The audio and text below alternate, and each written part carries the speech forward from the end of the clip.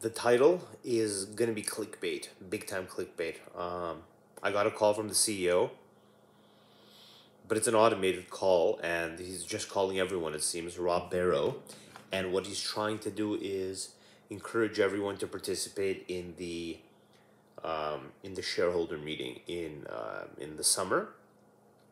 They probably want to pass resolutions. I have to look into this more, but so I got a call from a number. Obviously, I ignore when I don't know the number, and here's the message. Here, listen to this.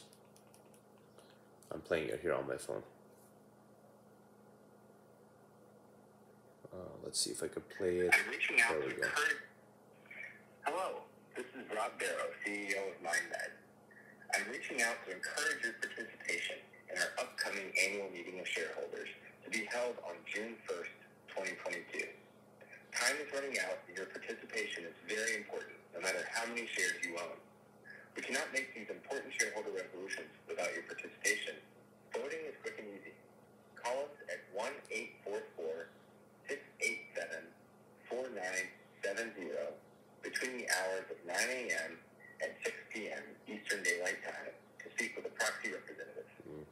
Again, the number is 1 844 So, yeah, it looks like looks like they really want people to participate. I've actually never gotten such a call before for any stock I've owned, and I've owned smaller stocks. I've I've owned like nasty penny stocks, so it's interesting. I'll um I'll do some research on that. It looks like there may be something happening with MindMed where they want you know they want shareholders to to vote.